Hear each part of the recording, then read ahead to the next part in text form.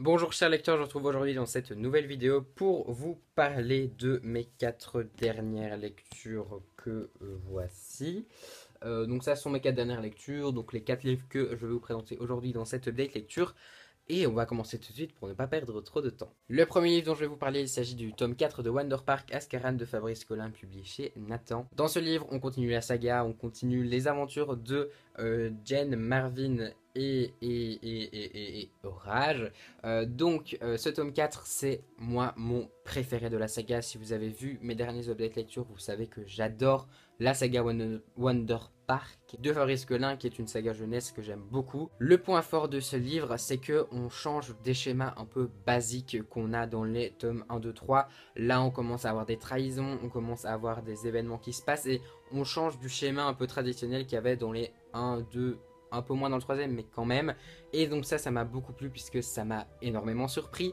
Euh, même si on est sur un livre de 140 euh, pages environ, euh, je trouve que l'auteur arrive à quand même bien installer son histoire, son univers. cette histoire de monde me plaît toujours autant. Et à la fin de ce tome 4, on a enfin un cliffhanger qui nous laisse clairement sur notre fin. Et on a vraiment envie d'avoir le tome 5. Tome 5 qui, au moment où je tourne cette vidéo, est sorti il y a quelques jours, que je vais me procurer euh, sans doute très bientôt, parce que j'ai vraiment hâte de lire la suite. Je m'éternise pas plus, mais c'est à peu près le même avis que j'ai depuis le début. Euh, donc euh, si vous avez envie d'une petite saga jeunesse qui se lit en une soirée à peine, Wonder Park est fait pour vous. Je vais vous parler ensuite de 13 raisons, donc 13 Reasons Why, ici de Jane Asher, publié chez euh, Albin Michel. Je ne vais pas faire de résumé de ce livre parce que bah, je pense que tout le monde connaît euh, la série ou en tout cas le livre 13 raisons. Personnellement, j'ai essayé la série, j'ai regardé les 2, 3, 4 premiers épisodes. J'ai pas accroché parce que euh, pour moi la série est un entre guillemets presque un copier-coller du livre. Et donc pour moi je voyais pas bien l'intérêt de continuer à la regarder parce que c'était sympa mais en plus, c'est que j'ai d'autres séries à regarder et que j'ai d'autres choses à faire de mon temps. Donc je me suis dit, stop-toi là, c'est pas grave. Mais je vais arrêter de vous parler de la série puisqu'aujourd'hui on est là pour parler du bouquin.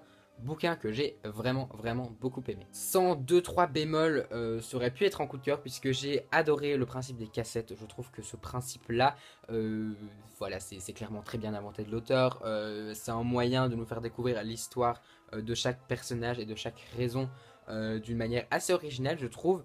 Cependant, si c'est mon point positif, c'est aussi mon point négatif, puisque pour moi, euh, il y a certaines longueurs dues aux cassettes dans ce livre, puisque au départ, on découvre les cassettes, euh, les premières cassettes, on est pris dans l'histoire, on a envie de savoir ce qui se passe, etc. Mais gentiment, vers le milieu, après 2-3 cassettes, le schéma de la découverte du personnage se répète un petit peu, et on a tendance à s'ennuyer légèrement. J'ai traîné ce livre pendant environ 4 ou 5 jours parce que justement, il y a eu cette période de longueur que j'ai moyennement aimé qui m'ont un, petit peu, euh, un petit peu freiné, jusqu'au moment où on arrive à la cassette de clé, puisque je vous spoile pas, hein, on le dit dans, euh, dans, le résumé, on sait clairement que euh, il est cité dans sa cassette, donc a priori c'est une, une, raison de la mort d'Anna Baker. Et à partir du moment où sa, cassette entre dans, dans le jeu, on a vraiment une suite qui donne envie. Après la cassette de euh, tout s'enchaîne, il commence à avoir une sorte d'intrigue, on a des petites révélations et tout, et ça, ça nous donne vraiment envie de connaître la suite. Donc pour ma part, ce sera une très bonne lecture. Le seul bémol autre que la longueur que je mettrais, ce serait le personnage d'Anna, puisque j'ai trouvé, alors encore une fois, c'est mon avis, euh, je ne m'y connais pas vraiment, et voilà, je pense que j'ai pas les connaissances nécessaires pour me prononcer là-dessus vraiment bien euh, comme il faut. Mais j'ai eu un petit problème avec le personnage d'Anna, déjà premièrement dans le sens où je trouve que euh, le personnage d'Anna, alors même si elle a subi des choses horribles, ça je suis d'accord, euh, se venge. Pour moi, quand elle se venge, elle se place limite à la place du harceleur, en fait, quelque part. Alors, pas autant que ceux qui lui ont fait subir des choses, hein, on est bien d'accord là-dessus. Mais pour moi, il y, a quand même ce petit changement de rôle de victime à harceleur, un petit peu. quelque part, hein, c'est quelques, voilà, quelques, quelques, quelques aspects qui me font penser à ça j'ai pas aimé ce côté-là de, sa personnalité, même si je, comprends qu'on se, venge, c'est humain de vouloir euh, faire du mal aux gens qui nous ont fait du mal. J'ai trouvé que c'était très malsain. Alors, ils lui ont fait subir des choses archi malsaines aussi, on est d'accord, mais j'ai trouvé que la vengeance était très malsaine. Et pour moi, l'image du personnage d'Anna que je me suis fait dans ce livre ne collait pas du tout avec l'image du personnage qu'on nous décrit dans les flashbacks. C'est-à-dire que euh, certains aspects de sa personnalité, euh, j'ai trouvé certains aspects de sa personnalité assez bipolaire en fait, on va dire clairement. Euh, j'ai trouvé qu'il y avait certains aspects qui la faisaient effectivement très victime, etc. Même si elle est victime du harcèlement, je ne cherche pas du tout à revenir là-dessus, mais elle avait certains passages assez victimes et certains passages plutôt harceleurs. Donc pour moi, il y avait une vraie différence de sa personnalité en fait. Enfin bref, je sais pas si vous avez suivi tout mon cheminement autour du, personnage d'Anna, mais il m'a un petit peu, un petit peu chamboulé et aussi un petit peu étonné en fait. Même si, encore une fois, je le redis bien, rien n'excuse le harcèlement, surtout de cette manière-là. Rien n'excuse le harcèlement, je le redis. Hmm, je cherche pas du tout à dédramatiser ou à minimiser ce qu'elle a subi, vraiment pas.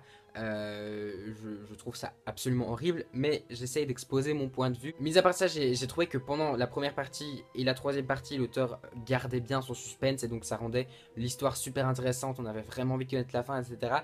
Donc pour moi, c'est une très bonne lecture, même s'il y a deux bémols majeurs. D'un, le personnage d'Anna, et de deux, les longueurs, pardon, du coup, pendant la deuxième partie. Euh, et donc voilà, c'est pour moi, après, je vous le conseille vraiment, parce que pour moi, on montre vraiment les, conséquences du harcèlement. Euh, donc je vous le conseille vraiment. Mais après, euh, c'est vrai que en termes de harcèlement dans tout autre genre, j'ai préféré par contre Marion 13 ans pour toujours. Donc, petite parenthèse, je ne vous ai pas parlé sur la chaîne parce que c'est absolument impossible pour moi d'en parler. Euh, j'ai été trop ému par celui, donc j'arrive pas à vous en parler, mais je vous en reparlerai dans le top flop de l'année 2017 puisque ça a été un immense coup de cœur. Mais voilà, si vous n'avez pas eu de chronique dessus, c'est normal. Je tiens à m'excuser sur le changement de luminosité, mais il y a juste 5 minutes, donc quand j'ai commencé la vidéo, euh, il y avait du soleil, il faisait beau, et maintenant il drache. Voilà. Bienvenue en Belgique. Donc du coup on va continuer cette update dans le noir euh, et je vais vous parler de euh, No Pazaran, le jeu, Ops, il est là, de Christian Lehmann publié chez euh, l'école des loisirs de la collection Medium. Première chose, je remercie les éditions l'école des loisirs qui m'ont fait découvrir ce livre puisque comme pour l'autre que je vais présenter après, ça a été un partenariat et si je n'avais pas eu ce partenariat, je pense que je n'aurais jamais lu ce livre et que du coup je serais passé à côté de quelque chose puisque c'est en allant sur leur catalogue que j'ai vu euh, le résumé de ce livre qui m'a tapé dans l'œil. Alors pourquoi? Parce que dans le résumé, on nous dit euh, il y a euh, un jeune homme qui va avec ses amis dans une, boutique qu'il ne connaît pas.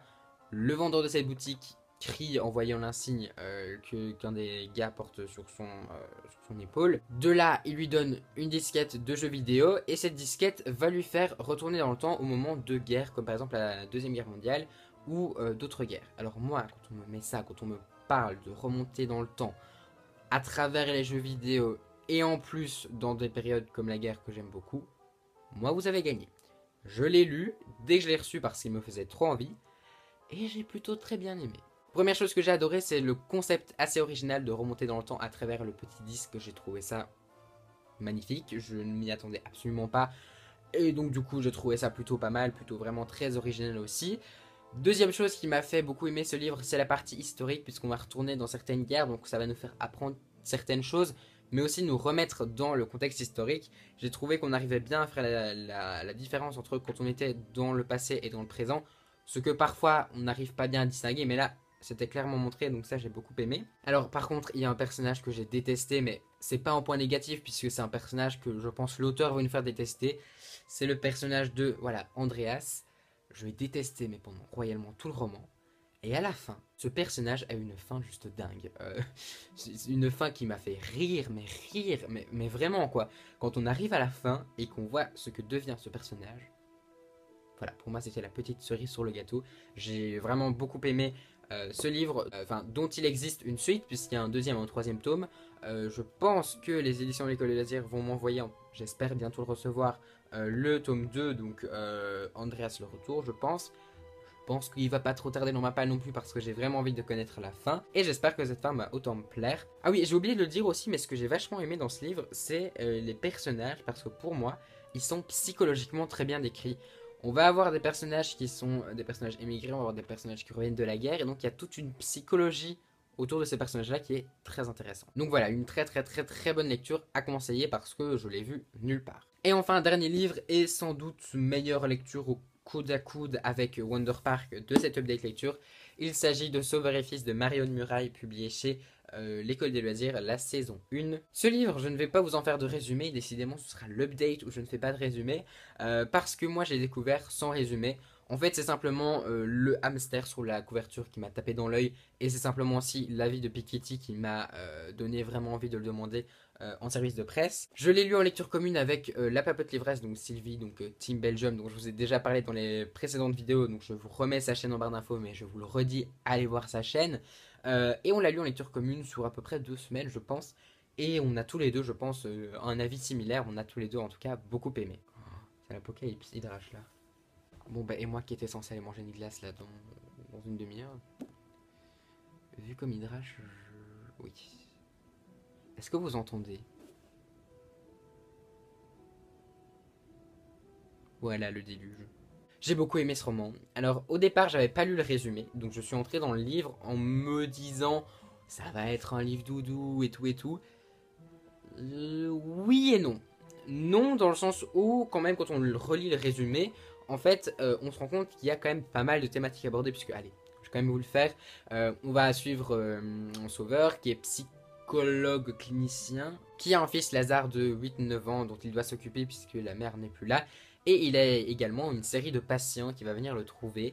Euh, et en fait, tous ces patients euh, sont victimes, on va dire, ou ont des problèmes qui sont des thématiques très actuelles. Et c'est mon premier point positif de ce livre.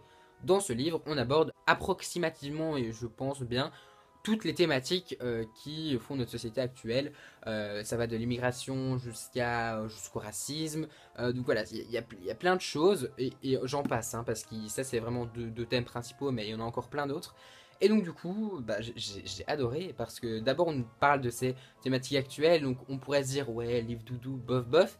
Et puis en fait, le personnage de Sauveur a tellement un humour incroyable bah si, moi je suis désolé, moi quand je lis ce livre, si c'est comme une c'est comme un gâteau qu'on mange, c'est un pur délice, quoi. On flotte sur un nuage avec ce livre qui est majestueusement bien écrit et qui est, je trouve, découpé de manière très intelligente, puisqu'on va avoir en fait un découpage en semaines. Donc les semaines font approximativement 50, euh, 80 pages, mais en a aussi qui sont plus courtes.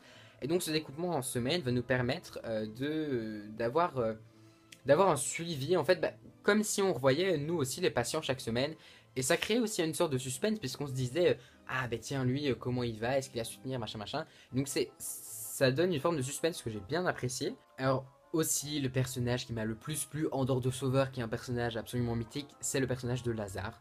Lazare pour moi c'est un petit garçon en détresse, je, trouve, euh, qui même s'il pense qu'il a tout ce qu'il veut, il a l'air quand même pas, pas au top non plus, mais j'ai adoré ce personnage. Euh, je sais pas comment vous dire pourquoi, mais j'ai juste adoré ce personnage. Euh, j'ai hâte de lire le tome 2. Je sais pas encore si je vais le recevoir en service presse de la part de l'école des loisirs, mais en tout cas, si je le reçois pas, je vais l'acheter parce que j'ai trop envie de le lire. Normalement, je pense qu'on se le refera en lecture commune avec la papote, donc euh, probablement que vous le verrez prochainement aussi. Et alors, j'ai appris récemment, c'est Pikiti qui m'a dit ça en live l'autre jour, qu'il y avait un tome 4 qui était prévu. Donc moi qui pensais que c'était une trilogie aussi, forcément, puisqu'il n'y avait que 3 tomes parus, eh bien c'est génial. Ce sera 4 tomes, peut-être plus, je suis pas sûr de savoir si c'est le dernier, mais en tout cas moi ça me botte bien. Voilà donc c'est la fin de cette update lecture et la fin aussi bah, d'ailleurs du déluge puisque quand je finis ma vidéo la pluie s'arrête de tomber donc c'est magnifique. Si vous avez lu l'un de ces quatre livres, n'hésitez pas à me dire euh, dans les commentaires ce que vous en avez pensé, si vous avez euh, aimé ces livres, si je vous ai donné envie de les lire. Si vous avez aimé cette vidéo, n'hésitez pas à mettre un petit pouce vers le haut et à vous abonner à la chaîne pour suivre toutes mes péripéties sur YouTube. Je vous souhaite d'excellentes lectures et je vous dis à très très bientôt dans une prochaine vidéo.